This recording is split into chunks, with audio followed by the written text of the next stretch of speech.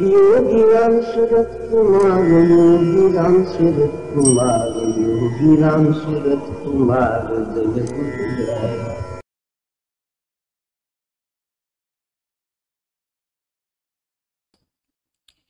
சில நாட்களாக இந்த ஜென் கதைகள் சிலவற்றை நாம் பார்த்து வருகிறோம். ஆரம்பத்தில் தியானம் என்றிருந்த நம்முடைய சம்ஸ்கிருத வார்த்தையானது திரிந்து திரிந்து இந்த கிழக்கு ஆசிய நாடுகளில் செல்லும் பொழுது புத்த மதத்தின் காரணமாக அது சான் என்று ஆகி பிறகு ஜென் என்று ஆகிவிட்டது என்றெல்லாம் சொல்கிறார்கள். இது என்ன ஒரு திரிபு என்றாலும் இந்த கருத்துக்கள் மாறவே இல்லை. நம்முடைய மதத்தில் அந்த ரிஷிகள் ரிஷி பெருமக்கள் உள்ளே ஆழ்ந்து போய் வெளியே கொண்டு வந்த முத்து முத்து கருத்துக்களை பலவிதங்களாக பல மொழிகளில் வெளிப்படுத்துகிறார்கள். இந்த புதுமை மக்களுக்கு தேவையாக இருப்பதனால் இந்த கதைகளை இப்படி மாற்றி மாற்றி சொல்ல வேண்டியிருக்கிறது. மனம் எப்பொழுதுமே புதுமையை நாடிக்கொண்டே இருக்கும் வெரைட்டிஸ் நாடிக்கொண்டே இருக்கும். அதனால்தான் நமக்கு மனம் எளிதில் ஒன்றில் ஒன்றுபடுவதில்லை.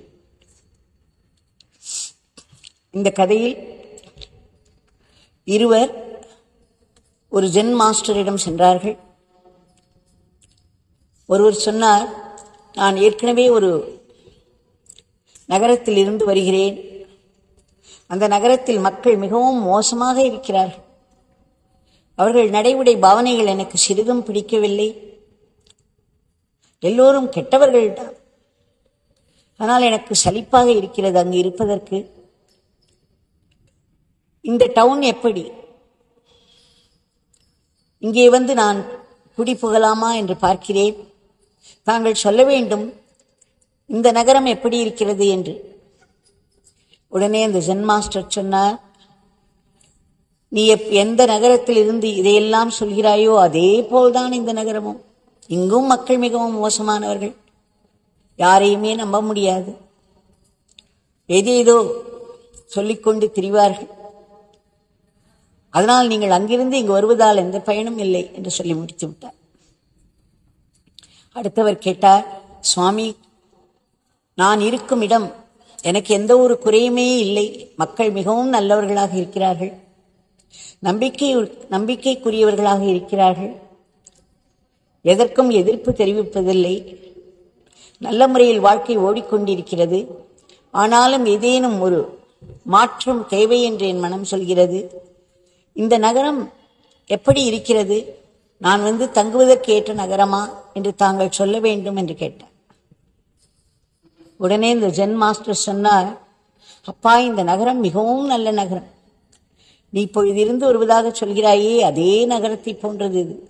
இங்குள்ளவர்கள் எல்லோரும் நல்லவர்கள் நம்பிக்கைக்கு உரியவர்கள் தர்ம வாழ்க்கையில் வாழ்பவர்கள். நீ தாராளமாக இங்கு வந்து இருக்கலாம் என்று சொல்கிறார். இருவரும் அந்த ஒரே நகரத்தை பற்றி தான் கேட்கிறார்கள். ஒருவர் தான் இருந்த நகரம் மிகவும் மோசமான மக்கள் என்று சொல்பவரிடம் ஆம் ஆம் இந்த நகரமும் மிகவும் மோசமான மக்களைத்தான் கொண்டுள்ளது என்று சொல்கிறார். நான் இருந்த இடம் மிகவும் நல்ல இடம் நல்ல மக்கள் என்று சொன்னவரிடம் இந்த நகரத்திலும் நல்ல மக்கள் தான் இருக்கிறார்கள் இது ஒரு நல்ல நகரம் நீ தாராளமாய் வந்திருக்கலாம். ஒரு குருவினுடைய பதில் எப்படி வேறுபடுகிறது? வந்தவர்களுடைய கேள்விகளும் பதில்களும் அவரவர்களுடைய மனப்பான்மைக்கு தகுந்தவாறு இருக்கிறது. நாம் நம் மனதில் என்ன விதமான ஒரு பாவம் குடிக்கொண்டிருக்கிறதோ அதுதான் நம் கண்களில் இந்த உலகமாக தென்படுகிறது. இந்த உலகம் நம்முடைய மனதின் பிரதிபலிப்பு என்றே சொல்கிறார்கள் பெரியவர்கள். ஆக ஒருவருக்கு அவர் இருந்த இடத்தில் நல்லவர்களைத் தவிர வேறு எதுவும் தெரியவில்லை. அவரிடம் இந்த நகரமும் நல்லதுதான். நீ தாராளமாய் வந்து இருக்கலாம் என்று சொல்லும் அதே குரு. இன்னொரு இடம் இதே நகரத்தை பற்றி இது மிகவும் மோசமான இடம். நீ இங்கு வந்து இருக்க வேண்டிய தேவையில்லை என்று சொல்கிறார். என்ன அர்த்தம் அதற்கு? நீ எங்கு போனாலும் மக்கள் உனக்கு மோசமாகத்தான் தெரிவார்கள். யாரும் நம்பிக்கைக்குரியவர்களாக தென்பட மாட்டார்கள் ஏனென்றால் அந்த மாதிரியான ஒரு எண்ண பதிப்பு உன் உள்ளத்திலே இருக்கிறது அதைத்தான் நீ வெளியிலும் காண்பாய். அதனால் நீ எந்த நகரத்துக்கு போனாலும் அந்த நகரத்தில் இருப்பவர்கள் மிகவும் மோசமானவர்களாகவே உனக்கு தென்படுவார்கள். ஏனென்றால் அந்த மோசம் உன் மனதில் இருக்கிறது. நீ இருந்த இடம் நல்ல இடம் என்று சொன்னாய் உன் மனதில் நல்ல ஒரு பதிவு உண்டாகி இருக்கிறது நீ எங்கு சென்றாலும் அந்த நல்லதையே காண்பாய் ஆகையால் நீ இங்கு தாராளமாக வரலாம் என்று சொல்கிறார். இது எப்படி ஒரு அற்புதமான ஒரு கான்வர்சேஷன் இதில் எப்படி நம்முடைய மனப்பான்மையை நம்முடைய கண்ணோட்டத்தை அழகாக படம் பிடித்து காட்டுகிறார்கள். ஒரு மகாத்மாவிடம் சென்றோமானால் அவரால் யாரிடத்திலும் எந்த குறையுமே பார்க்க முடியாது. எல்லோரையும் பிரம்மமாகவே பார்ப்பார்கள். அவர்களுக்கு எப்பேற்பட்ட ஒரு கெட்டவனிடத்திலும் இருக்கும் ஒரு நல்லது மட்டுமே கண்களில் படும். இதை பற்றி நாம் நம்முடைய பகவானின் அனுபவங்களாக சிலவற்றை நான் பகிர்ந்து கொண்டிருக்கிறேன். ஆனால் நாம் எப்படி சொல் நினைத்து பாருங்கள் எவ்வளவோ நல்லவர்களாக இருப்பார்கள். ஆனால் ஏதேனும் ஒரு சிறு குறை இருக்கலாம். அதை எடுத்து பெரிதுபடுத்தி அதை மூலமாக அவர்களை எவ்வளவோ அவமானப்படுத்த முடியுமோ அவ்வளவு அவமானப்படுத்தி அதைவிட நாம் மேன்மையானவர்கள் என்று பெருமை கொள்வோம். இப்படித்தான் மனப்பான்மை இருக்கும். இதை மகாபாரதத்தில் ஒரு கதை நம்ம எல்லோருக்கும் தெரிந்த கதை. இதை அடிக்கடி நான் பகிர்ந்து கொண்டு வருகிறேன்.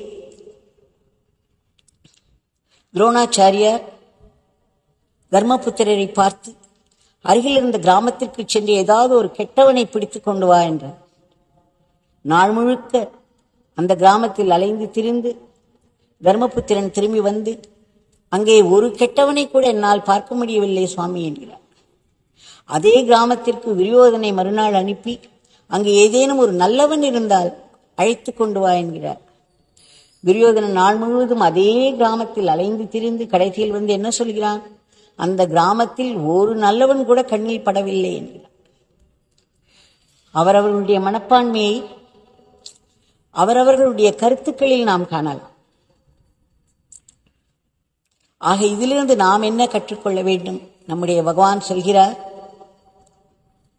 எப்பொழுதும் எல்லாவற்றையும் நல்லதாகவே பாருங்கள்.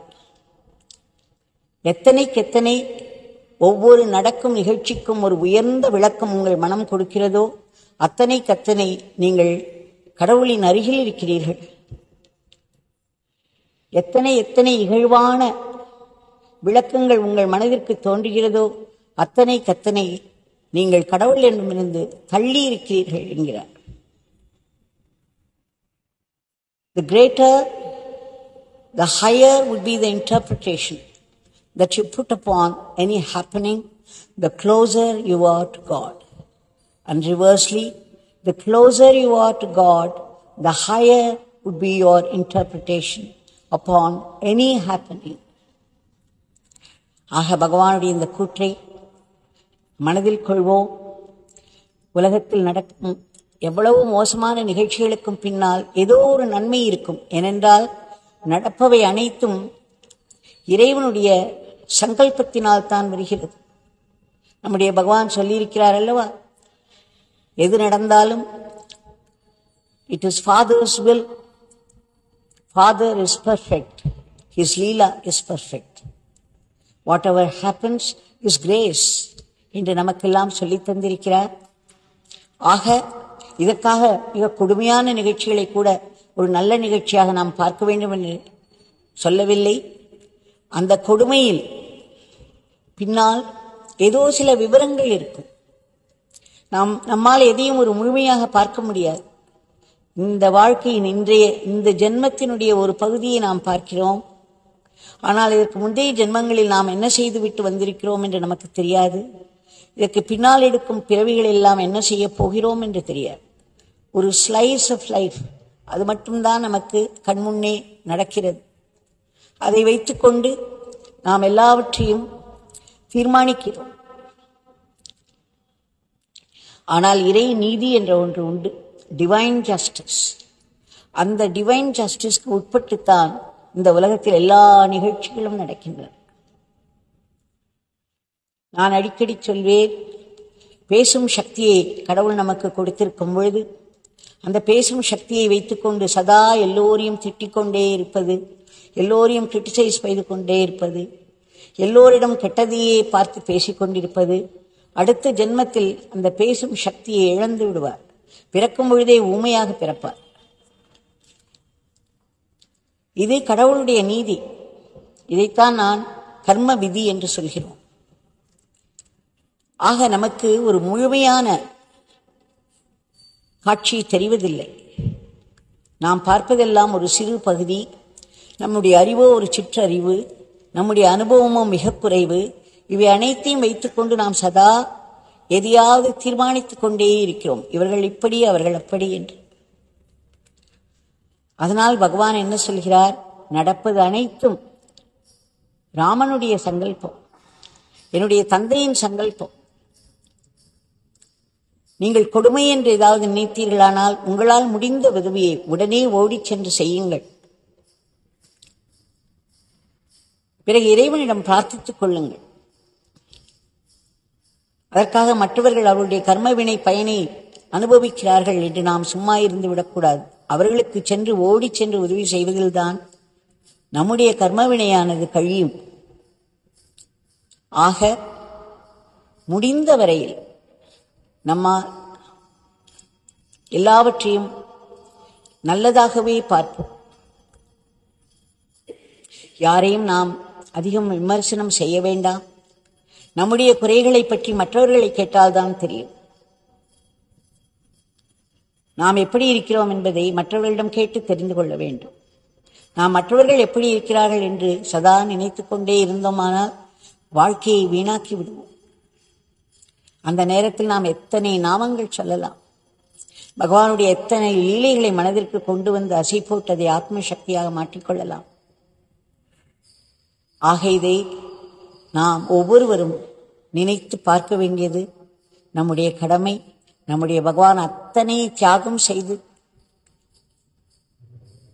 இந்த வாழ்க்கையை நமக்கு அளித்திருக்கிறார். எப்பேற்பட்ட ஒரு பகவான் நமக்கு குருநாதராக கிடைத்திருக்கிறார். அவருடைய எப்பேற்பட்ட நாமம் நமக்கு கிடைத்திருக்கிறது. எவ்வளவோ பெரிய மந்திரம். சொன்ன மாத்திரத்தில் நமக்கு உதவி கிடைக்கிறது. வழிகாட்டுதல் கிடைக்கிறது. பாதுகாப்பு கிடைக்கிறது. இதை நாம் போற்றி பாதுகாக்க வேண்டும்.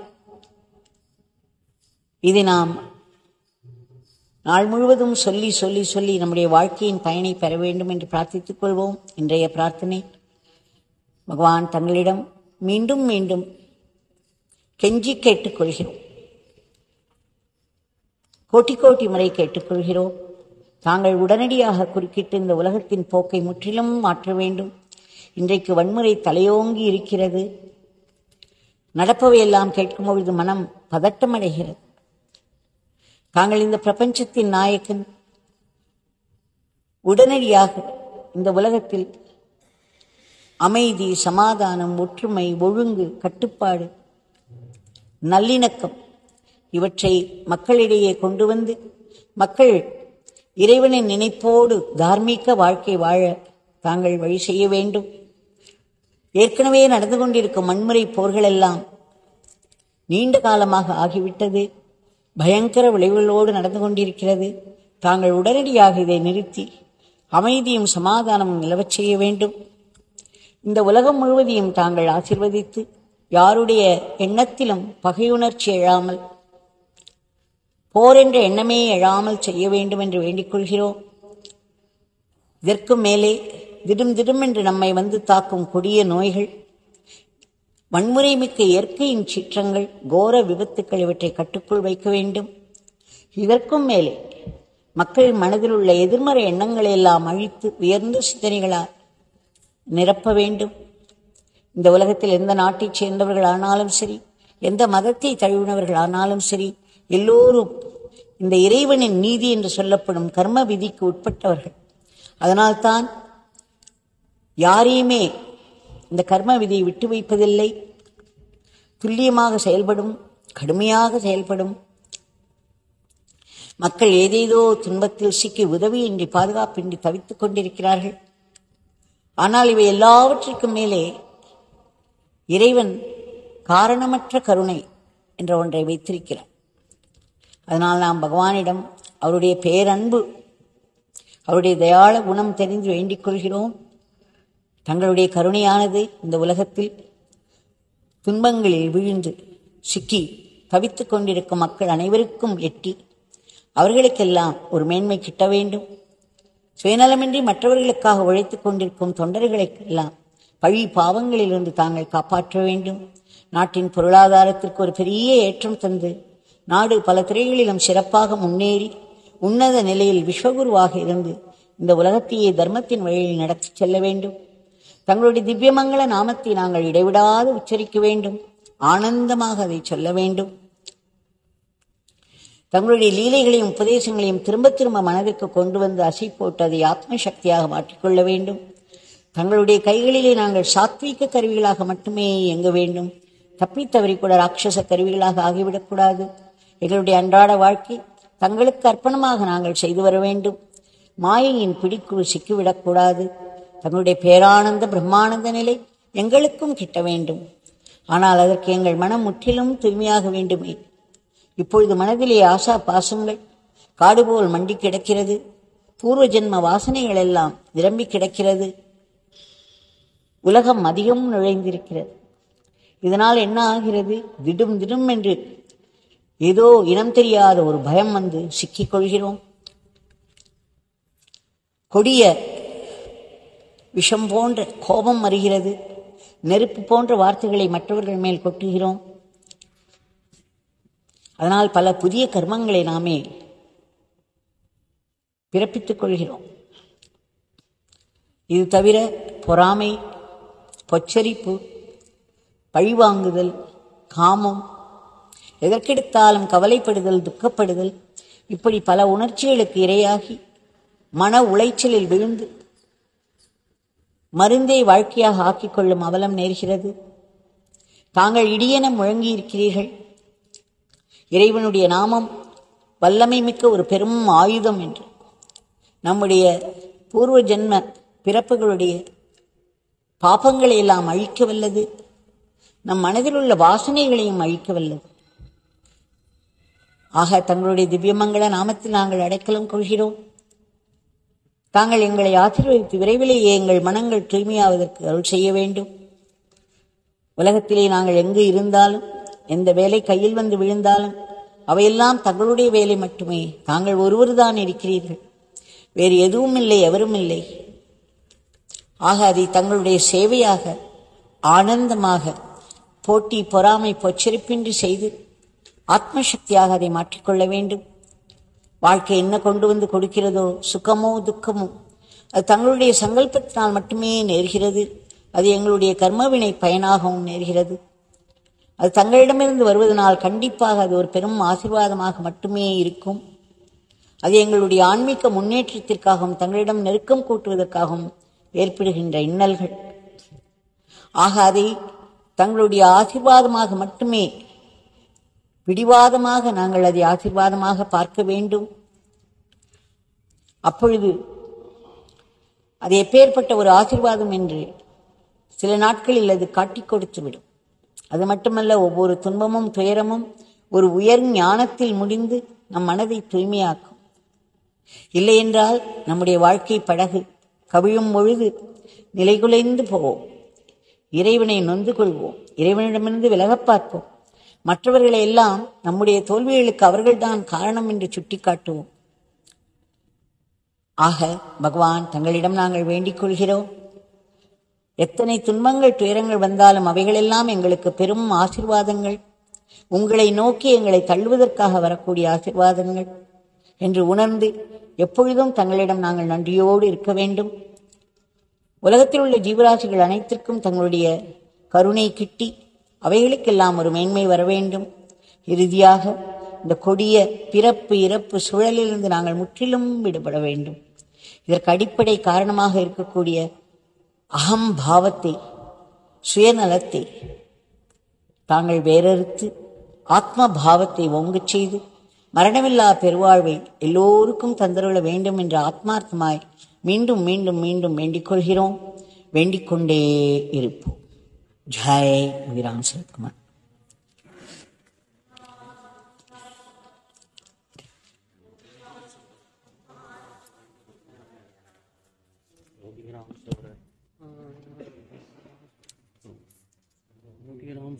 Thank you.